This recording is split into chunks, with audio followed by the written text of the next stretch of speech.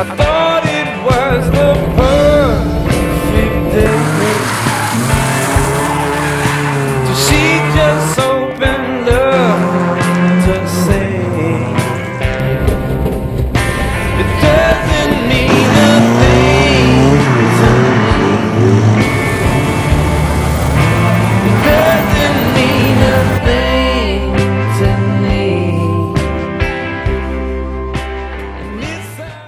Zacznijmy od początku.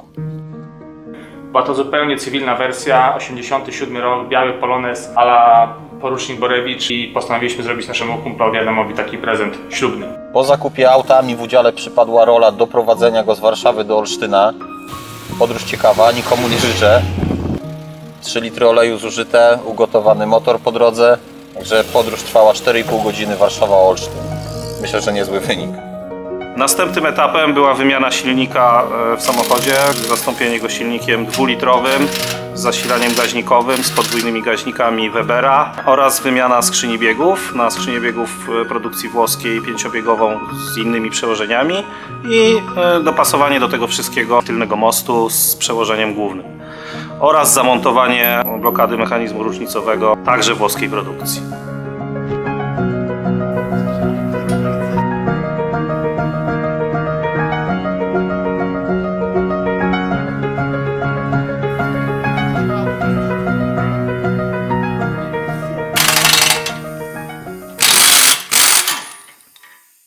Następnie zaczęliśmy od e, rozbiórki samochodziku.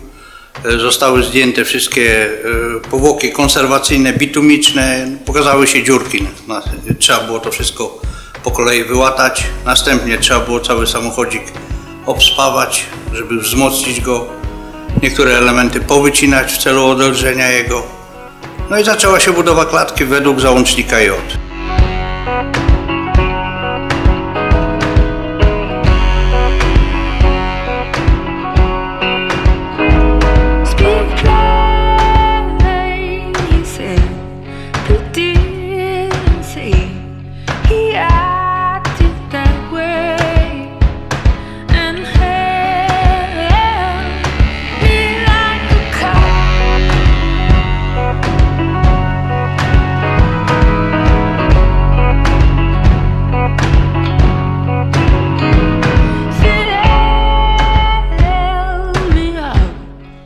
Po zbudowaniu klatki trzeba było następnie się skupić na zawieszeniu przednim i tylnym.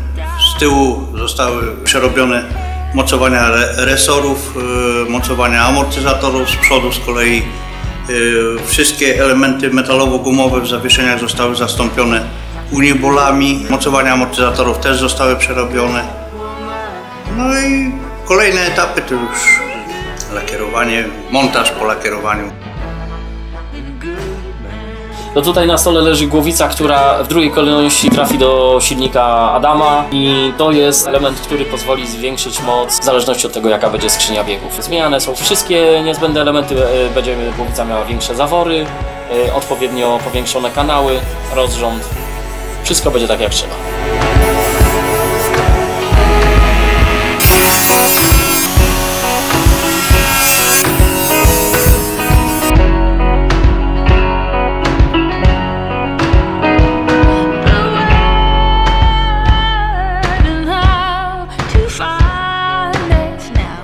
Ostatnim etapem e, pracy jest e, pomiar i regulacja na hamowni i tutaj ze 106 koni po regulacjach zapłonu i gaźnika uzyskaliśmy 128 koni e, z zadowalającym przebiegiem charakterystyki. Wymagało to pewnych przeróbek gaźnika, gaźników, właściwie dwóch podwójnych Weberów. Przerobione zostały rozpylacze, przerobione zostały pompki z rurki emisyjne, no i indywidualnie dobierane na hamowni zarówno dysze paliwowe, jak i powietrzne. To wszystko jeszcze zostało skorygowane kątem wyprzedzenia zapłonu i zmianą charakterystyki regulatora odśrodkowego. Oto jest serce gaźnika.